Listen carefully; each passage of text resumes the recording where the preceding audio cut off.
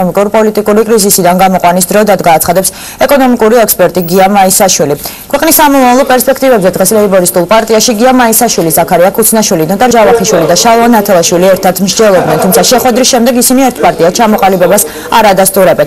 შეხვედრის მიზანი მათი განცხადებით მხოლოდ ქვეყნის მძიმე მდგომარეობიდან გამოსაყვანი გზების ძიებაა. გია მაისაშვილს საკუთარი ეკონომიკური განვითარების პროექტიც აქვს, რომელზეც ჯერ არ საუბრობს, თუმცა აცხადებს, რომ მოკავშირეებთან ერთად მალე ქვეყნისთვის სასიკეთო ბევრ საქმეს გააკეთებს.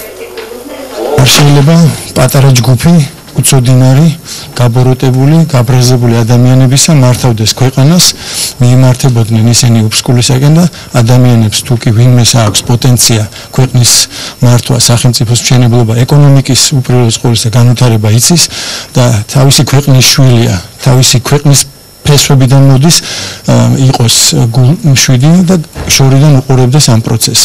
აქ ყალიბდებით იმაში, რომ ჩვენ ერთად ერთიანად მსგავსად ვხედავთ საქართველოს მომავალს და ვეძებთ საერთო შეხების წერტილებს. ბატონ გიან მაისაშვილს გააჩნია ძალიან საინტერესო ეკონომიკური პროგრამა ქვეყნის კრიზისიდან გამოყვანის და ვფიქრობ, რომ მისი განხილვა მასზე დებატები, ჟელობა და დიალოგი უაღრესად სასარგებლო იქნება ჩვენი ქვეყნისათვის და პირველ რიგში პოლიტიკური ძალებისათვის.